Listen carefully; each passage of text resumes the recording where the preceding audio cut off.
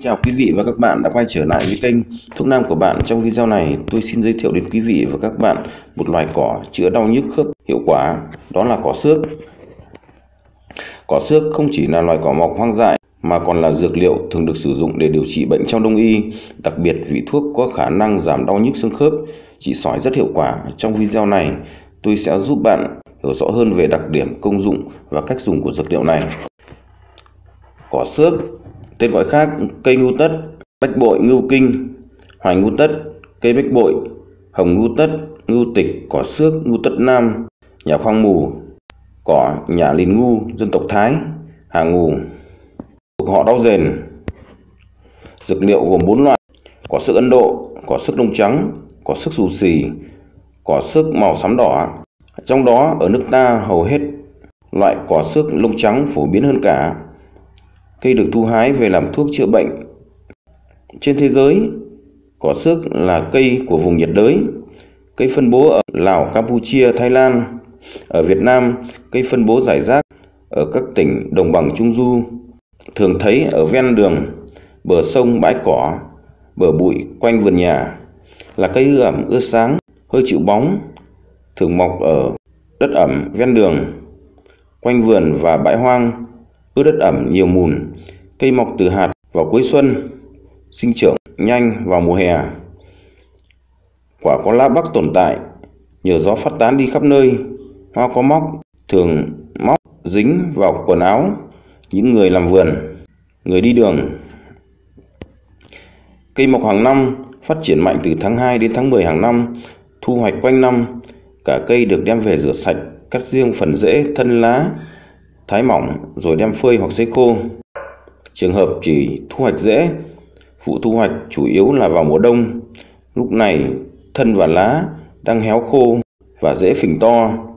Rễ cây được đào lên, cắt bỏ rễ nhỏ, phơi rễ cho đến khi vỏ ngoài nhăn lại rồi hun khói vài lần với lưu hình cuối cùng cắt bỏ phần đầu nhọn của rễ, thái lát mỏng phơi khô. Cây cỏ xước là một loài thực vật thân thảo, mảnh, hơi vuông, sống nhiều năm. Cây có chiều cao dao động từ 1 đến 2 mét, có lông mềm bao phủ quanh thân. Rễ màu vàng, hình trụ dài, khá nhỏ, bé dần từ cổ rễ đến chóp rễ. Đường kính chừng 2,5 mm, dài 20 cm. Mặt ngoài màu nâu nhạt, nhẵn đôi khi hơi nhăn, có vết sần của rễ con. Lá mọc đối, Chọn ở hai đầu kích thước khoảng 2 đến 4 cm, bề ngang 5 đến 12 cm chiều dài. Trên lá có phiến hình trứng mọc đối, mép nguyên lượn sóng, có cuống nhỏ. Hoa mọc thành cụm. Chiều dài của chùm bông khoảng 20 đến 30 cm, hoa nhỏ, đều lưỡng tính. Mẫu 5 không có cánh hoa, có một lá bắc và hai lá bắc con. Lá bắc giải rác có lông dài màu trắng, một gân mọc nổi rõ ở giữa. Bông hoa có thể phát triển từ kẽ lá hoặc đầu cành. Lá đài năm hơi không đều. Trời, hình bầu dục thuôn nhọn, nhị năm, nhị nếp và có nhiều tua viền ở đầu. Bầu hình trụ, quả dạng nang dài 2 đến 3 mm, màu nâu, có thành mỏng dính vào hạt. Lá bắc, ngọn giống gai, dễ bám vào vật khác như quần áo, hạt hình trứng nhỏ và dài dày 1mm. Bộ phận sử dụng làm thuốc là thân, lá và rễ. Người ta thường đào cả cây đem về rửa sạch, hong khô và cắt khúc nhỏ.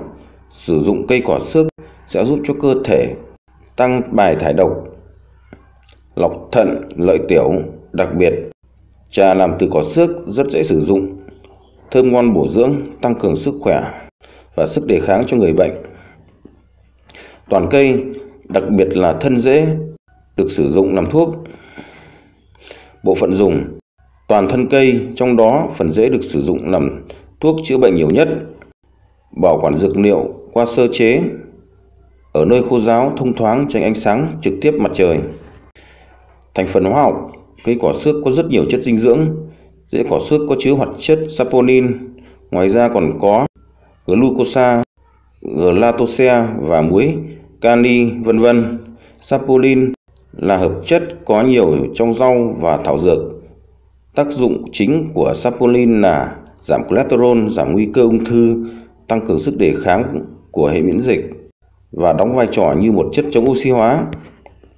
Theo y học cổ truyền, cỏ xước có vị đắng, chua, tính bình, không độc, quy vào hai kinh can thận, tác dụng thanh nhiệt, giải độc, bồi bổ cơ thể. Ngoài ra, quả xước còn có tác dụng hỗ trợ tiêu viêm, làm lưu thông khí huyết, giảm đau các khớp, ngăn ngừa sơ vữa động mạch.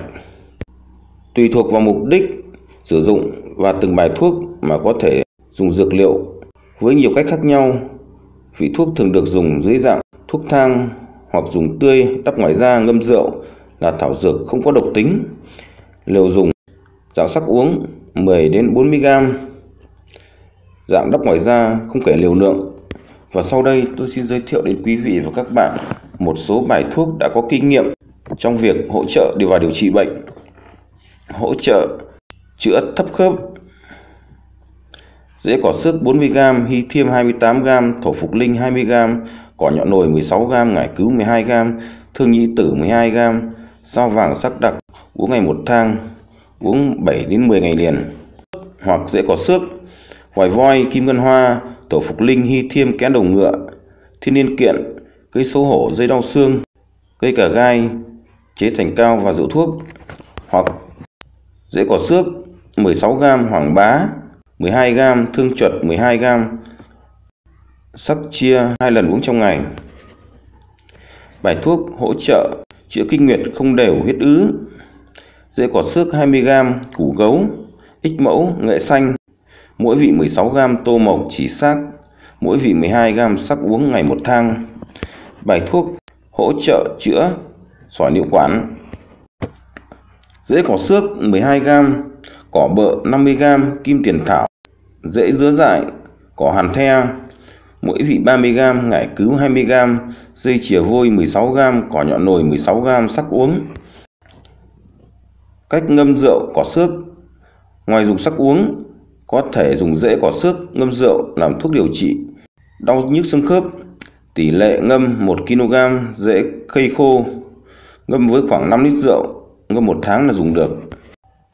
Kiêng kỵ, dị ứng với bất kỳ thành phần nào có trong các bài thuốc. Phụ nữ có thai, đang cho con bú. Trẻ em cần, cẩn trọng khi sử dụng. Người bị bệnh dạ dày bệnh đường ruột có thể gặp tác dụng phụ như đau bụng buồn nôn tiêu chảy không nên dùng cỏ sức là một vị thuốc cổ truyền được sử dụng từ rất lâu đời trong dân gian nhờ nhiều tác dụng quý mà dược liệu này được dùng nhiều trong các bài thuốc chữa bệnh cũng như cuộc sống hàng ngày. Tuy nhiên, để phát huy hết công dụng của vị thuốc đối với sức khỏe, bạn nên tham khảo ý kiến bác sĩ để kiểm soát rủi ro và những tác dụng không mong muốn. Video đến đây là hết rồi. Cảm ơn các bạn đã xem hết. Nhớ nhấn like và nhấn nút đăng ký để nhận thông báo mới nhất của bọn mình.